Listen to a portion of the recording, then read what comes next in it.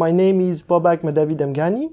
I'm a PhD student here at the Oxford Mann Institute of uh, Quantitative Finance. So, in terms of uh, my research, uh, it would be perhaps uh, useful to take a step back and uh, maybe uh, provide a little bit of context. In 2008, we had this big financial crisis. A lot of people were very unhappy. We had this social uproar and this sort of malaise sort of got into the scientific community as well. This pushed some of the uh, I, would say regulators to review some of their uh, risk systems and uh, try to anticipate what the next financial crisis could be. And um, sort of uh, quite quickly after the crisis, around uh, 2010, uh, the consensus started getting towards electronic trading being that specific area of you know potential crash. I would illustrate uh, my um, you know uh, my thought with perhaps the flash crash of 2010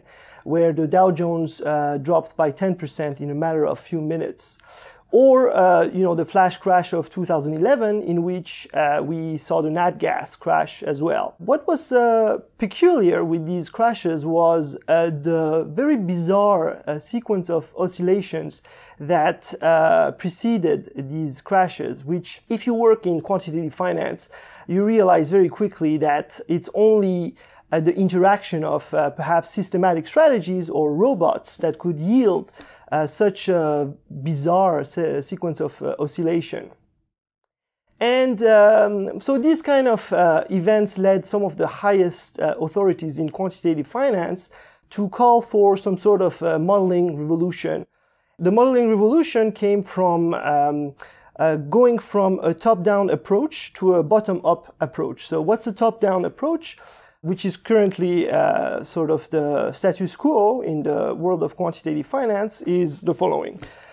Imagine you have, uh, you're trying to predict the fluctuation of uh, the S&P 500, you have some data, uh, you have some uh, leading indicators, and you try to uh, build functions which predict that uh, these fluctuations. However, this approach assumes all sorts of things, for example, that the ecosystem of strategies is consistent through time, and that past data is a reliable source for uh, predicting the future. What is the bottom-up approach, which is uh, my area of expertise, or at least the area in which I'm doing my research at the moment, is to instead take a look at uh, the strategy level. So try to see how the interaction of two different strategies would yield fluctuations instead of going from the top down, go from the bottom up. If you uh, to try to take a look at uh, some of the revolutions in the past in the world of quantitative finance, they always came from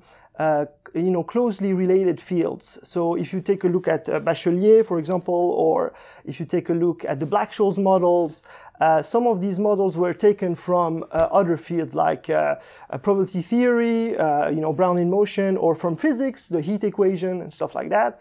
And what I'm trying to currently uh, do is to try to bring some of the material in mathematical biology and in evolutionary dynamics.